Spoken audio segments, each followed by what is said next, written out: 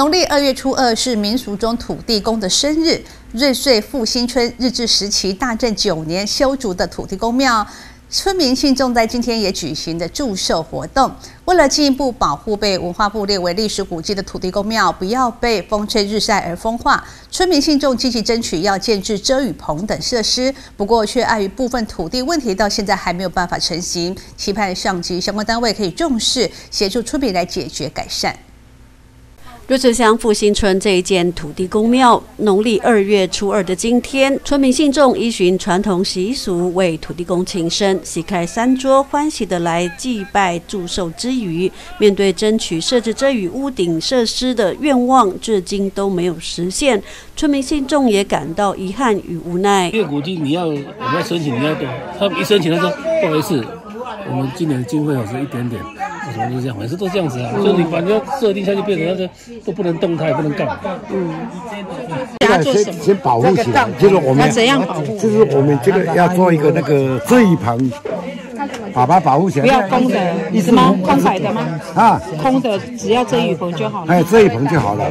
修建于日治时代大正九年，也就是西元一九二零年的土地公庙，由于至今仍完整保留当时使用的石材以及闽南土地公庙建筑外观，因此被县文化局列为县级文化建筑古迹。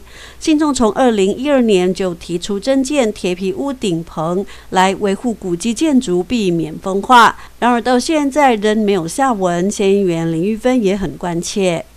也是国有财产，国有财产没有。我们这个讲啊，土地的问题，你看我放的那个土地，我们观光局在在那个国有财产。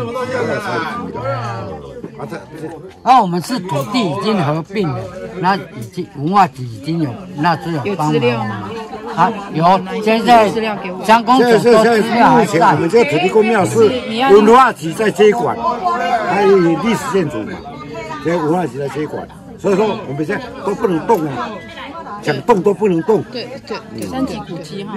哎，就是古那个文化局接管没有，他要接管，他要负责维护，协助维护。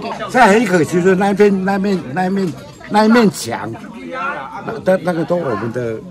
上上上上一代的的名字，不论是上代厘清的土地问题，还是计划经费的争取，由于土地公庙建筑已列为县级历史文化古迹，任何修建或增建，也就得要依相关法规来从长计议。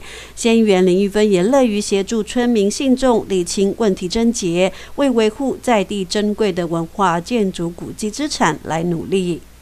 记者石玉兰瑞穗采访报道。